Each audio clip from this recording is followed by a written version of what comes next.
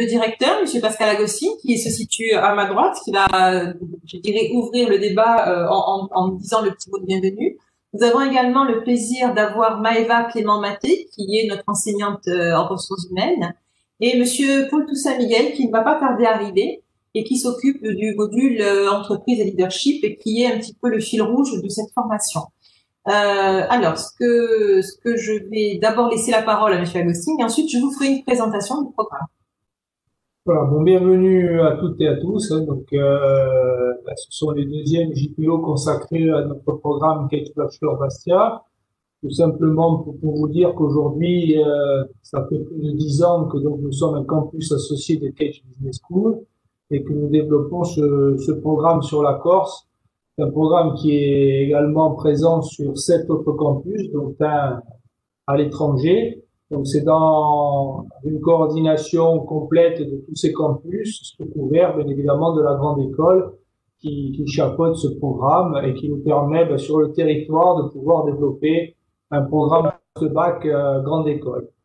Donc voilà, je vais laisser la parole à Isabelle, donc qui est responsable de tous les programmes d'enseignement supérieur, notamment du campus associé de Cage sur Bastia, pour, euh, pour démarrer la présentation. Euh, et ensuite, on répondra à vos questions avec les différents témoignages d'étudiants, d'enseignants, de manière à ce que ça soit quand même animé et dynamique. Voilà, donc bienvenue à toutes et à tous, et puis on démarre la, présentation. Alors, donc, le Bachelor Cage, est un programme qui se euh, s'intègre soit après le bac et qui donc se déroule sur trois ans, soit euh, et ou alors qui peut également euh, après un bac plus 2 validé s'intégrer directement en troisième année. On va balayer l'ensemble du programme et si certains d'entre vous sont intéressés par rapport uniquement à la troisième année, on fera également une aparté à ce sujet. Donc, ce qui est important de connaître, de savoir, c'est que ce programme est un programme qui est visé par le ministère de l'enseignement supérieur, parce qu'il y a beaucoup de bachelors qui existent au niveau de l'offre de formation en France, et seuls quelques-uns sont visés. Le Catch Bachelor est un programme visé, visé par le ministère de l'enseignement supérieur, qui permet de ce fait euh, à la fois de, démontrer que c'est un programme d'excellence en gestion et en management. D'ailleurs, son titre précis sur le diplôme, c'est Programme supérieur en gestion et en management, et qui permet également euh, de poursuivre des études en master. Seul un programme visé peut permettre la poursuite d'études en master. Mais l'intérêt de ce programme c'est qu'il est également très professionnalisant, ce qui permet également au bout de trois années de pouvoir intégrer le monde de l'entreprise. On y reviendra tout à l'heure.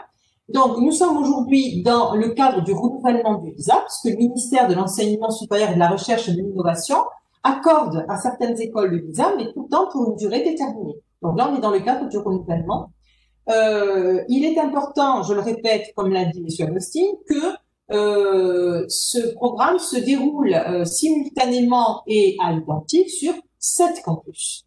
Les deux plus gros campus sont le campus de Bordeaux et de Marseille, mais il y a également euh, le, le campus de Toulon, d'Avignon, de Bayonne, de Dakar et bien évidemment le campus de Bastia, qui en termes d'effectifs est le plus petit, certes, mais où les programmes sont rigoureusement identiques sur, euh, par rapport aux autres campus. À la seule différence, et ce qui fait notre spécificité également, notre ADN, je dirais même notre point fort, c'est que vous allez comprendre parfaitement que le même programme dispensé sur des effectifs de 25 étudiants ou des amphis de 300 ne peuvent pas avoir, euh, je dirais, euh, la même consistance et, le même impact. Euh, ce qui est important également de signaler, c'est que la pédagogie de Kedge est une pédagogie innovante et qui est basée sur l'action. C'est-à-dire qu'il y a effectivement des cours, hein, ce qu'on appelle la partie académique, mais il y a aussi beaucoup d'actions euh, de façon à ce que les étudiants puissent apprendre en faisant. Learning by doing signifie apprendre en faisant. Euh, L'une des particularités des points forts de ce programme également, qui a une dimension internationale, c'est l'expérience internationale que les étudiants connaissent au cours de leur deuxième année et qui peut se dérouler de deux façons, soit par le biais d'un stage dans une entreprise à l'étranger, mais aussi qui peut se dérouler par le biais d'un euh, parcours en université partenaire avec un cursus académique. Il y a également, euh, toujours dans le côté professionnalisant et pragmatique, le stage obligatoire de six mois en troisième année. Donc, vous voyez que sur trois ans, on peut très bien passer un tiers du temps en entreprise par le biais de stage. C'est en ça que le programme était très professionnalisant. Euh, il est important de noter aussi, ça fait partie des, points forts de notre école, euh, de notre grande école, c'est que euh, la troisième année peut être faite en alternance. Et là, aujourd'hui, c'est sur l'ensemble des campus. Donc, ça veut dire que non seulement au, au, travers des stages, on a pu avoir une approche du monde entreprise, mais en troisième année, on peut aussi être salarié de l'entreprise. Donc, euh, c'est pour toutes ces raisons qu'effectivement, au bout de trois ans, les étudiants sont tout à fait opérationnels. C'est toujours, et je, répète encore, c'est un programme avec une dimension internationale et euh, une partie de la scolarité peut être faite en anglais, peut être suivie en anglais. Donc, dans la mesure où votre projet professionnel vous oriente vers une carrière à l'international, vers le commerce international, eh bien, sachez que, effectivement, une partie de votre scolarité pourrait être faite en anglais. Et comme je le disais tantôt, donc le, bachelor est un programme d'enseignement généraliste. On verra tout à l'heure dans le slide suivant euh, que les deux premières années euh, sont surtout basées sur les fondamentaux du management et de la gestion. Mais ce qui est important également, c'est que dès la troisième année, on commence à ouvrir un petit peu le champ des spécialisations. Donc, il y a un large choix de filières qui sont proposées au travers de l'ensemble des campus, et ce, dès la troisième année. Voilà. Alors, en ce qui concerne les enseignements, euh, on, vous enverra à la suite de, cette présentation euh, la plaquette qui contient l'ensemble du cours. Il est clair que euh, les deux premiers semestres, c'est la, la première année en fait. Hein.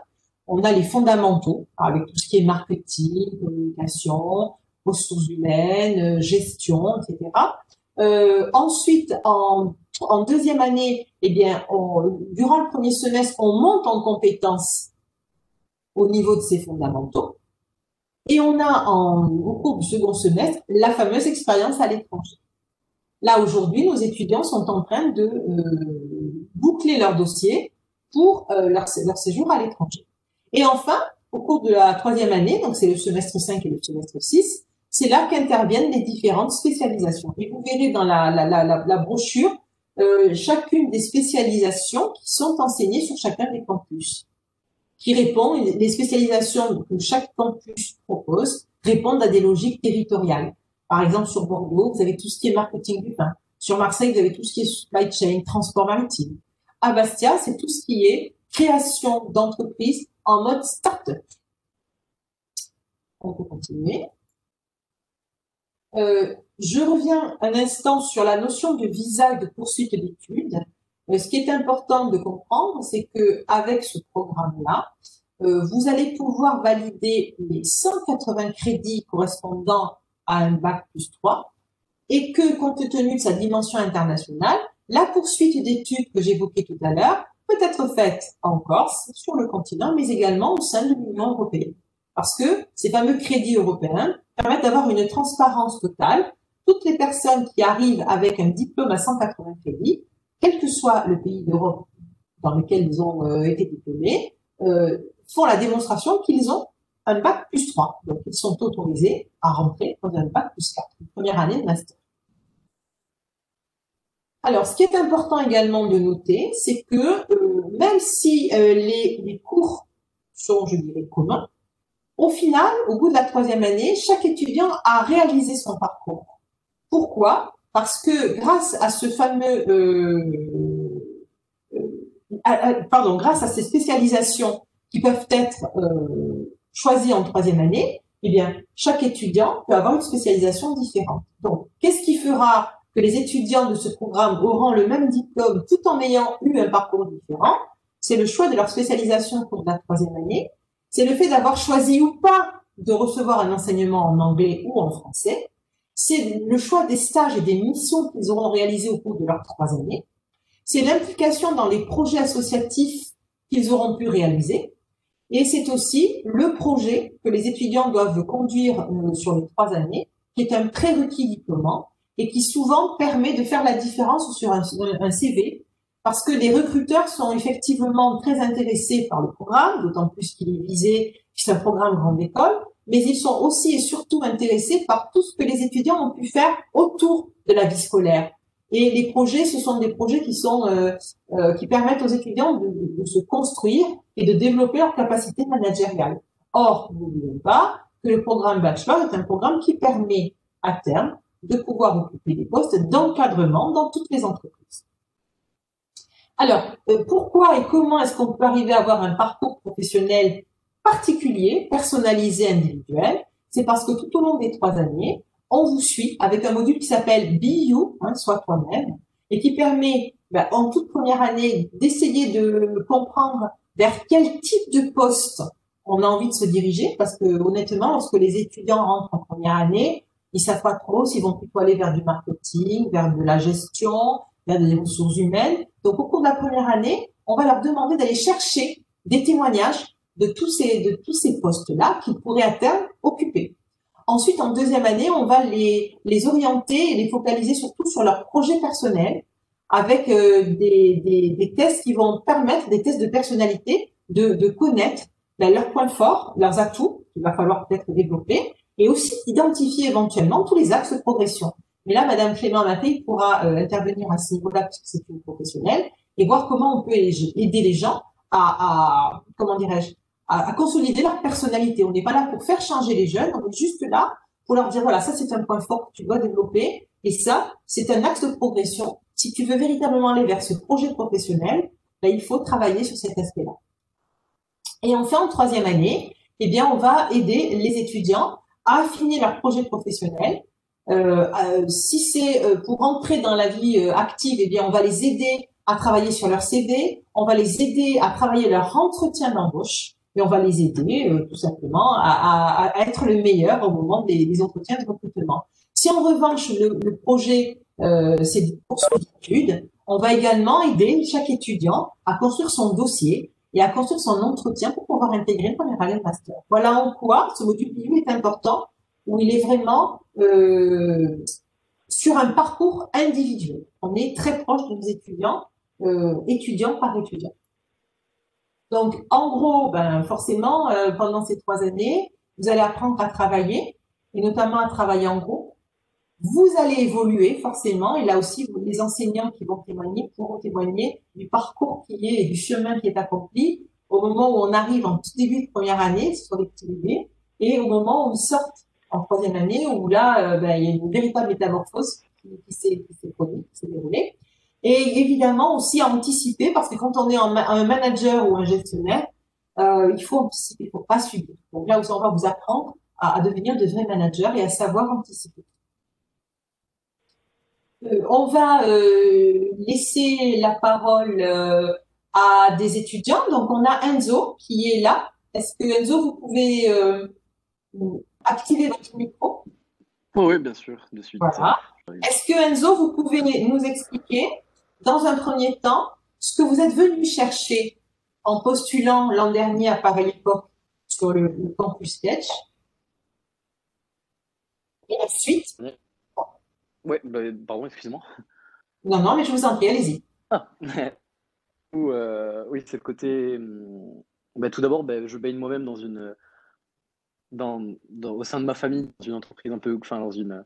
Je dirais dans une atmosphère commerciale. Du coup, ça m'a de suite. Euh, je suis accroché à ce milieu-là. Mais vraiment, c'est le, ce qui m'a attiré dans le fait de venir bah, dans cette école, c'est vraiment le fait de surtout travailler en groupe qui m'a beaucoup plu. Et j'ai aussi le, le, voyage de deuxième année en université partenaire ou en entreprise à l'étranger de six mois, qui m'a beaucoup, beaucoup plu.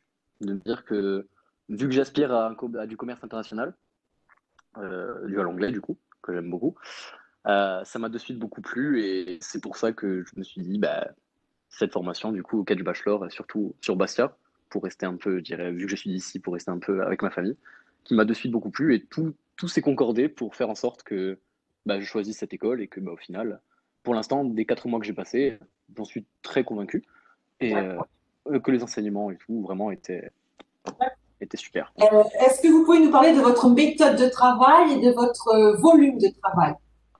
Ouais, bien sûr. Euh, alors, je vais pas mentir en disant qu'on a quand même du travail à faire en dehors des cours. ça serait quand même mentir. Mais euh, franchement, en ayant une heure à une heure et demie de travail par jour, selon les matières qui nous sont données, selon les, devoirs qui nous sont donnés, rien n'est insurmontable, franchement. Hein. Je ne suis pas moi-même un gros travailleur. Et pourtant, je suis pas. Rien n'est insurmontable. Je dirais que c'est vraiment. Et le, le, le fait de. C'est la proximité aussi avec les professeurs que j'aime beaucoup. C'est vraiment. Si on a un problème ou qu'on a des questions ou quoi, les professeurs sont de suite là pour. Euh, on a les numéros de téléphone ou les mails ou WhatsApp, quoi que ce soit, pour vraiment poser des questions quand on a vraiment des problèmes. Et c'est cette proximité aussi que j'aime beaucoup. C'est vraiment. On n'est jamais, on jamais seul, en fait. C'est-à-dire, on est, on est toujours accompagné, je dirais. C'est vrai que je, je, reprends ce que je disais tout à l'heure, c'est le point fort du campus de Bastia, c'est la proximité que l'on peut avoir avec euh, avec les, les enseignants, euh, la direction, euh, le personnel administratif, c'est c'est clair. D'accord, donc ça c'est une bonne chose. Qu'est-ce que vous est-ce que vous pouvez rassurer les étudiants aujourd'hui qui, se posent beaucoup de questions par rapport à la crise sanitaire, euh, par rapport comment est-ce que vous avez euh, dès la première semaine euh, été confronté justement à, ce problème-là et comment l'école a réagi, comment vous vous avez réagi Oui, alors, alors je dirais qu'au début on était assez content de faire cours à la maison parce qu'on se disait tiens c'est une nouvelle chose. On a on a eu l'occasion de le faire en terminale, mais justement avec des classes plus importantes, je dirais que ça a été un peu le le bazar, si je puis dire. Alors que là, de suite, avec, en étant une petite promo comme ça, c'est vraiment sympa parce que les professeurs passent vraiment un temps avec chaque élève, tout en étant dans un cours euh, commun, passent vraiment avec chaque élève sur les problèmes qu'il a ou quoi que ce soit. Et, vraiment, les cours ont continué comme si de rien n'était, bien sûr en distanciel.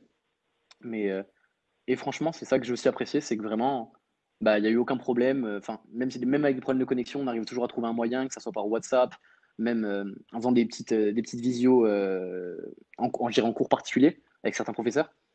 Et, Monsieur Paul Toussaint. Mais ouais, du coup, c'est vraiment. Je dirais qu'on a assez bien vécu au final euh, le fait d'être en distanciel, même si le fait d'être euh, en classe avec un professeur, euh, bon, ça ne ça sera jamais la même chose, hein, bien sûr. Bien sûr. La avec le professeur ne sera jamais la même chose, mais je veux dire que après, je parle au niveau même de la classe, avec qui j'ai eu des, avec qui j'ai eu des, discussions par rapport à ça. Et, franchement, on l'a tous à peu près bien vécu. Franchement, parce que les professeurs étaient encore là pour nous, personne, on a, personne n'a été délaissé dans la classe tous les professeurs étaient vraiment là quand il fallait. Et, oui, oui. Effectivement, il n'y a aucune, aucune rupture, hein, ça a été immédiat et on a mis en place ce système de distanciel où chacun s'y est retrouvé. Alors, il est vrai que le fait que les effectifs soient, soient relativement petits euh, favorise aussi hein, euh, cette pratique, mais honnêtement, euh, voilà, soyez rassurés, quelle que soit l'issue de, de, de, ce virus, l'école est tout à fait en capacité d'assurer les cours sans qu'il y ait de, de problèmes particuliers.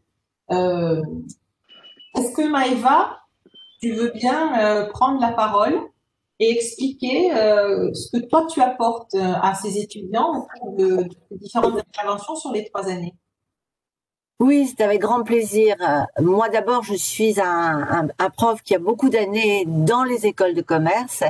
Et ce qui est intéressant dans ces parcours et que j'ai retrouvé euh, avec la proximité et la possibilité d'avoir carte blanche pour un, un, professeur, ce qui est très intéressant, bien sûr en respectant le référentiel, en respectant les cadres, mais en apportant aussi de sa personnalité.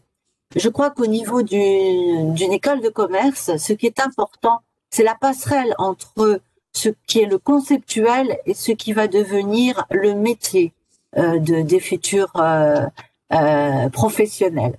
Moi, je suis dans la ressource humaine et la ressource humaine, quand on démarre en première année, c'est vraiment le une matière qu'on ne connaît pas.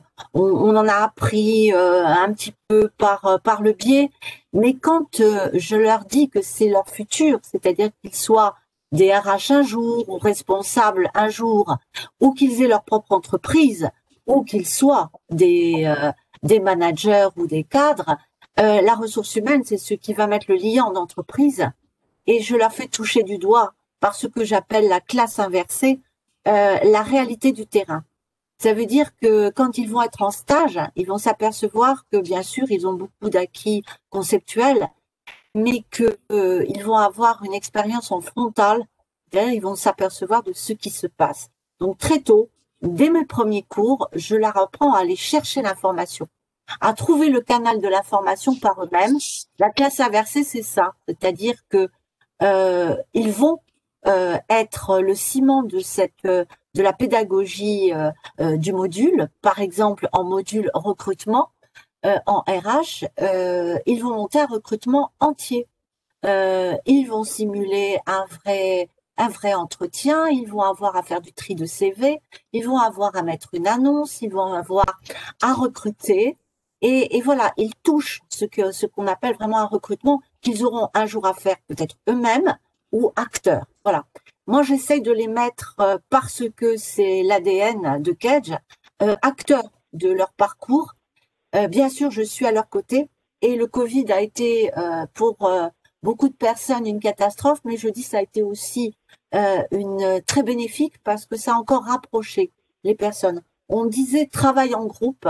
Isabelle a parlé de ça. Et vraiment, on a travaillé en binôme, on a travaillé en groupe sur des thèmes d'actualité et j'ai voulu euh, aussi que ces thèmes soient très proches de l'actualité qu'on vivait. Donc, on a travaillé lorsque euh, c'était la matière sur du management de crise, euh, sur ce que l'on appelle euh, les, les, managers euh, qui travaillent sur, sur l'humain. Voilà. Je dirais aussi que la montée en puissance de la première à la deuxième et à la troisième année est très importante. Et euh, j'ai beaucoup aidé aussi mes étudiants tout simplement à grandir aussi. Ils arrivaient euh, jeunes et le bonheur, c'est de voir la première année où ils sont tout jeunes et au bout de trois ans, ce sont des, euh, des adultes qui ont été confrontés à des difficultés, qui ont dû s'en sortir, trouver des solutions. Et on est toujours là. Là aussi, pour euh, faire éclore un projet professionnel, Isabelle parlait euh, de, de les aider à, à, savoir quels sont leurs atouts et leurs freins. Je suis très, très présente pour qu'ils puissent se rendre compte du potentiel qu'ils ont. On appelle ça maintenant les soft skills. vous avez les hard skills, c'est tout ce qui est la formation technique et les soft skills, c'est tout ce qui seront les compétences relationnelles, les compétences humaines, qui sont très, très demandées dans les entreprises parce que ça fait la différence. Et voilà, j'essaye de leur de les aider à avoir le meilleur côté d'eux-mêmes et surtout à corriger, améliorer lorsqu'il y a des points de vigilance, mais toujours à trouver leur personnalité et toujours à se trouver en tant que jeune adulte euh, et à ne pas avoir peur, à prendre confiance en eux, avoir de l'estime euh, l'estime de soi et surtout euh, mener ce parcours qui n'est pas facile. Parce qu'Enzo, vous parliez d'une heure, une heure et demie par jour. C'est vrai que c'est un minimum syndical, mais je dirais aussi qu'au sein de, des, des, modules, je demande beaucoup, beaucoup de travail, mais un travail qui est fait en partage. C'est-à-dire qu'ils ont la satisfaction d'avoir euh, monté un cours. Je suis là pour euh, corriger, je suis là pour après leur donner tout le guide de chacun des modules, mais ils ont cette fierté d'avoir trouvé leur concept, d'être allé les chercher, de les comparer. Voilà. En troisième année, nous travaillons aussi, j'ai eu la chance d'avoir en spécialisation sur de l'innovation, euh, à monter des entreprises. Je veux dire, bien sûr, virtuelles, mais des entreprises. Il y a un grand, un grand chapitre qui s'appelle la RSE, et la responsabilité sociétale des entreprises.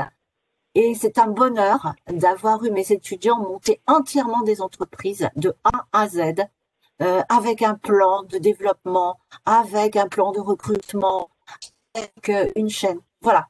Donc, je suis un prof très enthousiaste parce que je pense que la, le potentiel humain, plus, plus vite on, on, on, on, sait où on va et plus vite on mettra euh, toutes ses forces euh, dans la bataille qu'est la vie actuellement et, et, que les jeunes doivent subir. Voilà, euh, j'ai euh, j'ai des cours en ressources humaines, j'ai des cours en management d'équipe.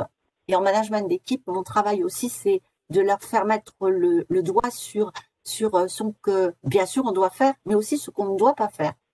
Euh, J'espère avoir donné la fibre managériale à certains et l'envie d'être des managers euh, proches de leurs équipes, mais toujours fermes dans leurs décisions.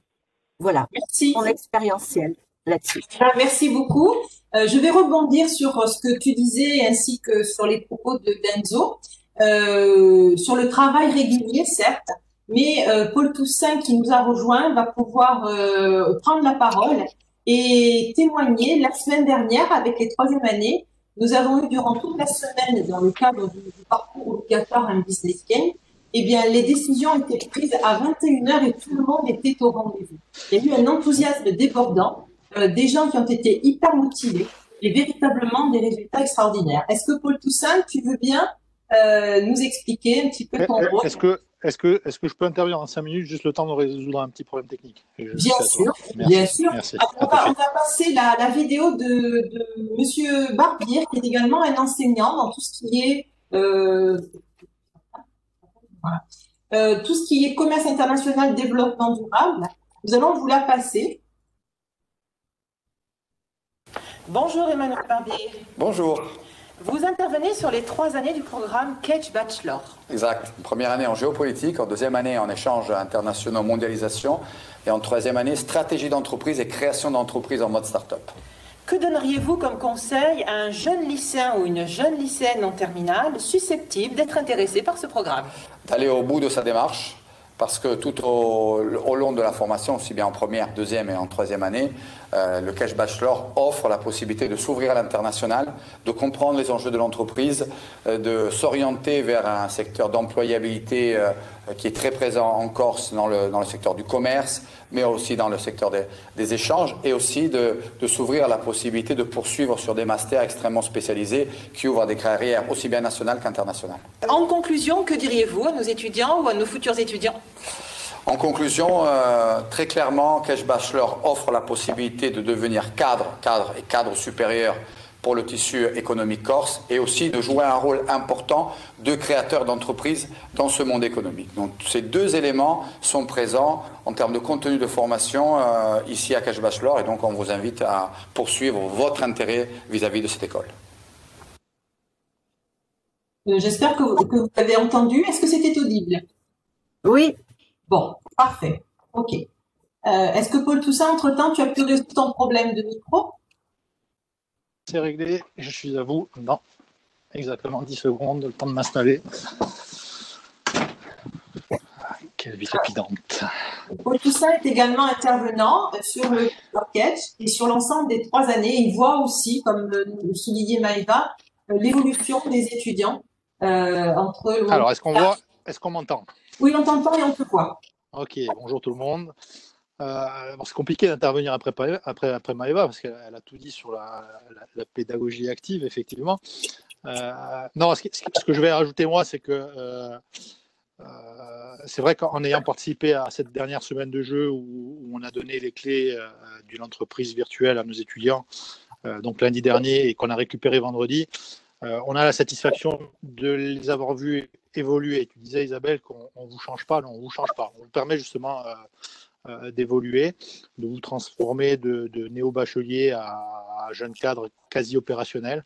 Euh, on l'a vu toute la semaine. Alors, c'est vrai que tout au long des trois ans, vous allez recevoir un certain nombre de savoirs, mais l'expérience qu'on a vécue cette semaine, elle, a permis aussi de, mettre en évidence tous ces, ces, soft skills, euh, ces traits de personnalité, ces traits de, futur manager. Et Dieu sait si euh, on a eu des moments euh, où on arrive, mais on a eu aussi des moments plus compliqués parce que, parce que dans le domaine de la gestion des relations humaines, ben, des fois c'est compliqué. Puis vous savez, quand il y a un jeu, il y a un enjeu, etc., il y a des tensions qui, qui, de suite peuvent émerger.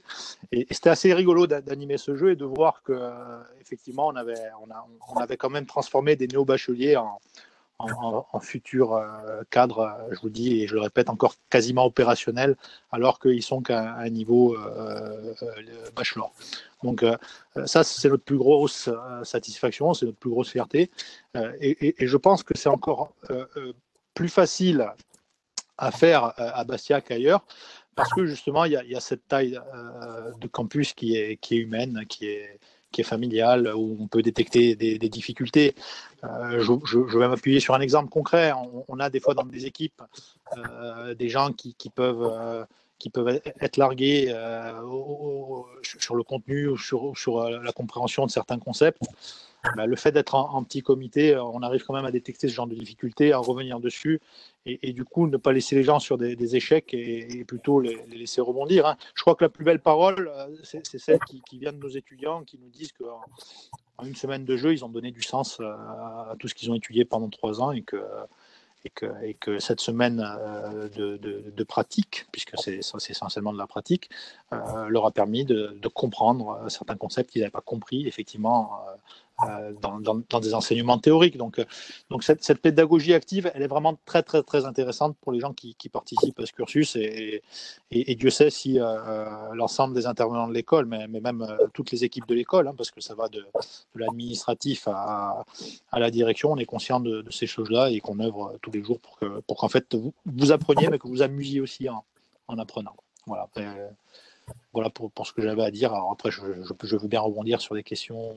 Oui, merci. Des thématiques, si j'ai oublié des choses, mais j'en ai forcément oublié. Mais bon, voilà, je suis à votre disposition si, si vous voulez me, me rentendre. Super. Euh, donc, euh, je, je, vais revenir un petit peu sur euh, les slides suivants. Donc, euh, je, je, disais tout à l'heure que les, les, campus proposent en troisième année un certain nombre de spécialisations. Alors, je ne suis pas sûre que ce soit très visible hein, sur. Euh, mais de toute façon, bon, je vais vous le dire rapidement. Euh, sur, sur Avignon, c'est le management commercial. Sur Bayonne, c'est tout ce qui est euh, commerce international, marketing et communication. Marseille, banque finance, transport international, management de la performance commerciale, marketing prospectif. Sur Bastia, je le disais tantôt, c'est l'entrepreneuriat durable et l'innovation. Sur Bordeaux, c'est tout ce qui est management et négociation stratégique la supply chain et euh, tout ce qui est vin et développement durable. Toulon, c'est le marketing digital. Dakar, c'est la banque finance, marketing événementiel et entrepreneuriat social. De toute façon, euh, je vous enverrai euh, euh, demain matin ou dans la journée de demain la plaquette, de toute façon, vous ayez l'ensemble du détail. Euh, en bref, avant de passer aux questions-réponses, qu'est-ce qu'on peut retenir de ce qui vient d'être dit? Eh bien, le Bachelor Catch est un cursus qui est professionnalisant et qui est proposé par la plupart des écoles de commerce françaises et à Bastia, en Corse. C'est une formation opérationnelle en trois ans qui comporte des séjours à l'étranger. C'est un diplôme qui offre une double possibilité, soit entrer directement sur le marché du travail, des trois années de bachelor, soit poursuivre ses études en master.